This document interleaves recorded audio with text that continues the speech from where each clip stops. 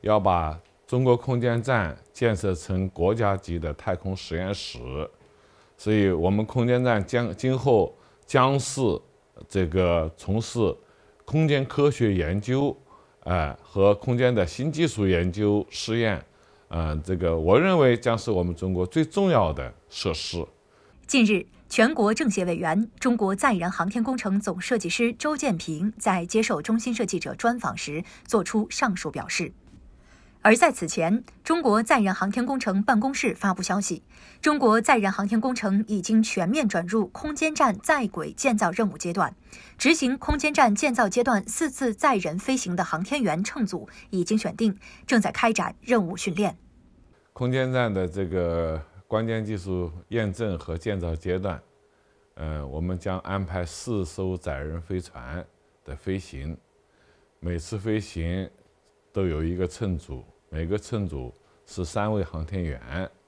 嗯，他们将担负就是说执行我们这个阶段的空间站，嗯，这个呃技术验证、建造以及呃这个。科学实验的任务，嗯，乘组的驻留时间，呃，这个根据任务安排，呃，这个长的将达到六个月。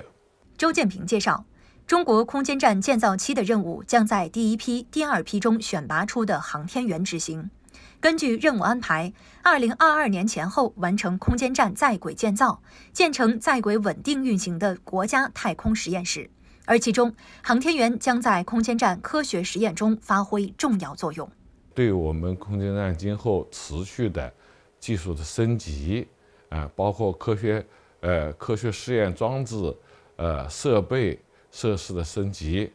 以及这个呃从事这个科学实验和技术试验的时候，我们不断的完善，嗯调整，呃这个这个呃改进我们的这个试验的方法。它都起将起到很大的作用。据悉，今明两年，中国将通过十一次发射完成中国空间站建设。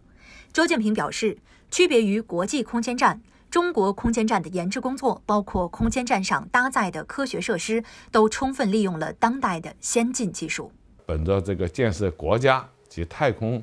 呃实验室的目标，所以我们在科学设施通用的科学设施、实验设施的这个选拔上。啊，这个研制上面，我们也是用的这个现在这个呃这个先进的啊技术来适应这个现当代这个前沿科技的这个呃研究需求，所以我相信啊，我们可以给这个科学家们提供一个很好的试验的条件、场景和能力。周建平说。中国的载人航天事业秉持着为人类服务、为发展科学服务的宗旨，欢迎全球所有国别的科学家参与到中国空间站的科学实验项目中来。欢迎啊，这个国外的科学家，这个参与我们的空间科学、我们空间站的这个研究工作。我们也已经和呃这个呃联合国外空司呃推进了呃落实了第一批这个。呃，试验项目，我们也和呃这个多个国这个国家或者是地区的科这个空间科学呃或者航天科技方面的研究机构有这方面的这个合作的这个协议。目前，空间站天河核心舱和承担发射任务的长征五号 B 遥二运载火箭已经运抵文昌航天发射场，计划今年上半年发射。